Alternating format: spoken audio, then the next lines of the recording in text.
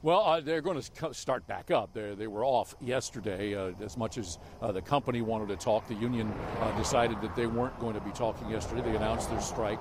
Um, and so uh, we're here. They're on the picket line right now, and they will go back to the table today. Much to talk about there. But first, we'll talk about what's happening here. You get the picketers out here, a couple of dozen of them uh, with their picket signs. And of course, the white collar workers have to come to work.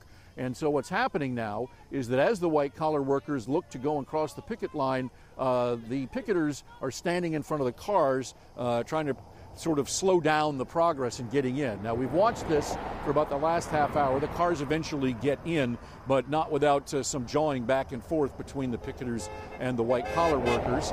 And uh, that'll uh, give you an idea as to some amount of tension that still exists between management and the uh, labor people here uh, with, uh, at least at this plant. Um, and you know, given the opportunity to stop the white collar workers from getting in, uh, they're taking that opportunity here. But let's talk about what's going to happen today. Uh, they're going back to the table at 10, and the things that I've learned this morning uh, have a lot to do with posturing. That's what we have going on here.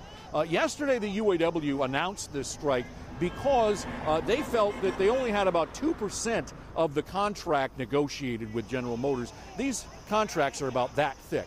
And so they only had a little bit of effort to uh, put forward. And then General Motors put out what it was that they were offering. And I'm told that that came about an hour and a half before the announcement. Well, that happened sometime around midday or early afternoon. And so um, the UAW gets a look at what General Motors put out as their offer, and they're going, well, there's a lot that we can talk about there. And so now the company puts out their offer. The UAW says, yeah, let's talk. So now the talks will get in, uh, going in earnest today, starting at 10 o'clock. So um, it's, it's looking like we have broken the logjam here, and uh, that's where we're headed this morning but not the logjam with the traffic. That seems like that's going to be a pretty big issue yeah. there in Lake Orion yes. with uh, each one of those vehicles that's trying to get to work being stopped there mm -hmm. by those picketers. All right, Rod, thank you. Mm -hmm.